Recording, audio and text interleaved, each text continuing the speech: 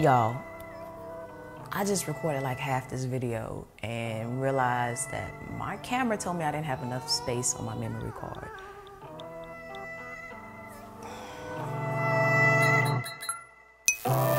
Anyway, we're gonna try this again.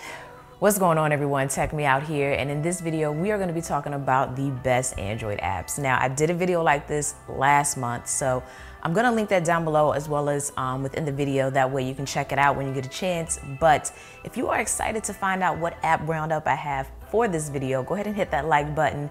And without any further ado, let's talk. So the very first app I have for you all is known as NotiSave. So this is a really convenient way to clean up your status bar by getting rid of those notification icons that typically appear up in that left-hand corner. However, that's not the only thing that I like about this app because it's the fact that it saves all of your notification messages that are shown in your notification bar. Plus, you can also search through your notifications from all of your apps at once, which is super handy because sometimes your notifications do get lost amongst others and it just simply becomes hard to find. This is gonna resolve that for you. And if you're that complicated person that likes read receipts on, but you don't always want others to know that you read the message, you now have the option to read the message without having the message marked as read within messengers. Plus, I love the fact that you can create groups so that you can get certain notifications grouped together. So you'll see all of your social notifications in a bunch, or maybe all of your business related notifications from various apps grouped in a bunch. A simple yet effective application.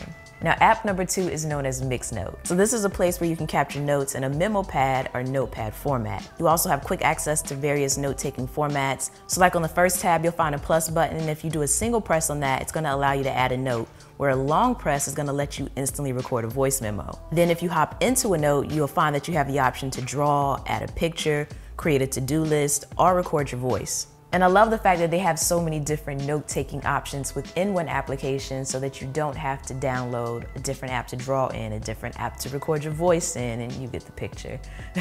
it's pretty handy to have all these options in a single note so that you don't have to use a bunch of different apps as everything is bundled in this one. Plus, you can also tag your notes to group similar items, and you can mark your notes private or hide and reveal them with just a simple shake of the hand followed by a fingerprint scan or a password of anything at all. In addition to those things, you also have a call recording option, which can easily be done during a call by just simply shaking your phone. And if you want to shorten the path to get to what you need, you have tabs of grouped items so you can see your checklist items all at once, or maybe all of your voice recordings or all of your images. A clean interface with tons of options managed yet somehow in a simple format. Now this next app is known as NoteBloc and it's pretty much going to put a scanner in your pocket. So you'll find that within here you now have the ability to scan your notes, sketches, drawings, are my personal favorite instruction manuals. I really love apps with easy to follow simple interfaces and this is definitely one of them.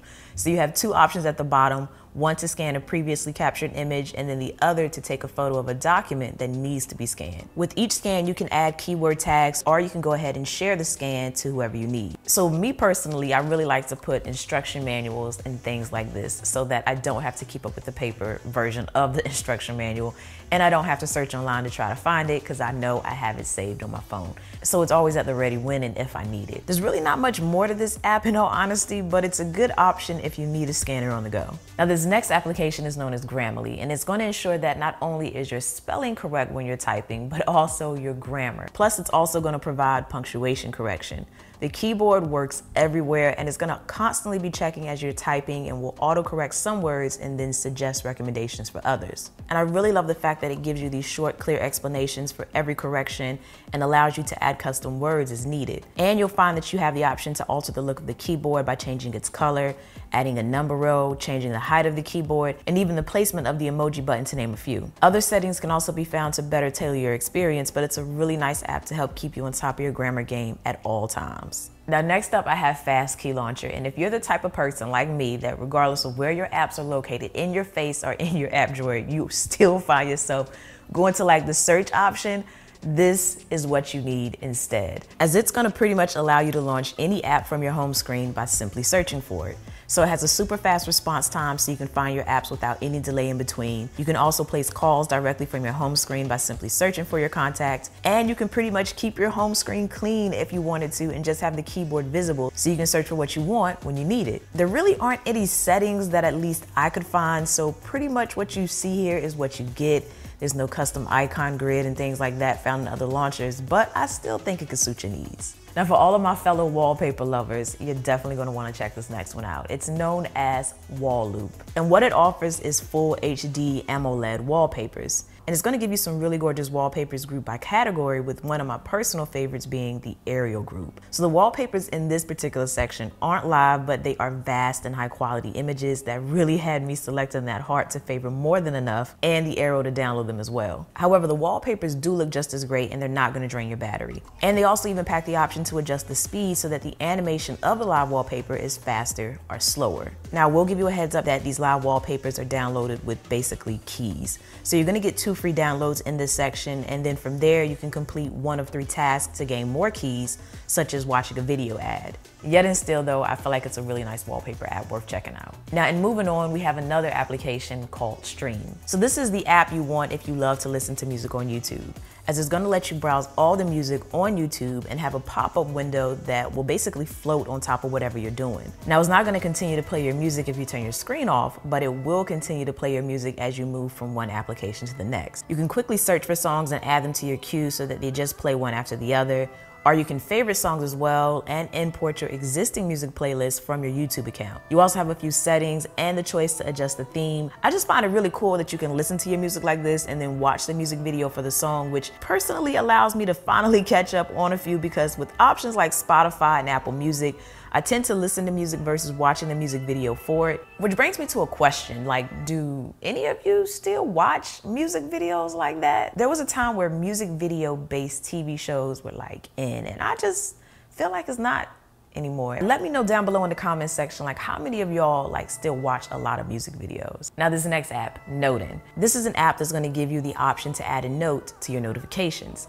So I see this as a perfect solution when you need to remember something but not per se save it. So that could be like a phone number that you don't need to save per se but you just need it for the moment or really anything that you need to kind of remember temporarily. But it's nice that it basically is a constant reminder as it remains in your notifications. So it could also be somewhere to just kind of add like a quick reminder. You can kind of use it like you would a sticky note. It's nothing complex, just a simple, quick note-taking application. However, kind of staying on that topic of constant reminders, I have another app that you should check out, which is known as Memory. It's basically a lock screen to-do list where you can add things you need to complete while on your lock screen. So this is really useful when you need to jot down something on the fly without having to unlock your device. You also have a few settings such as adjusting the background color or when you're gonna be greeted with this to-do list in general. And I actually have mine set as my lock screen in addition to the default lock screen, which is to scan my fingerprint. So Every time I unlock my phone, it's like right there constantly reminding me what I need to do. And I can make the list continue to show until it's empty, where it would then only appear if something's on it. So if you're constantly forgetting things that you need to complete or you want to simplify the number of steps it takes to get to your to-do list, then you should definitely give this app a download. And lastly, for all of you, I have Habits. So this is another app that will help you become a better you as it's gonna track the success of you completing your habits. For example, you can add an item, choose the question that you wanna be asked about, about it and how often you want to be asked. Now, as you can see, I do have a few things that I want to work on accomplishing, and when I do, I can simply tap the check mark. If I tap on the title of the habit, it's going to give me a bit more analytical information. And you can also color coordinate your items so that maybe all of your personal things are grouped together versus your business. The interface is clean and easy to follow, providing you what you need at just a glance. But that's going to do it for this top 10 Android app roundup, but I would love for my next top 10 Android app roundup to be apps in which you all recommend. So down below in the comment section, let me know an app I should check out and I might just feature you in my next video. Be sure that subscribe button is hit and that notification bell is on. And as always, thanks for taking the time out to let me tech you out.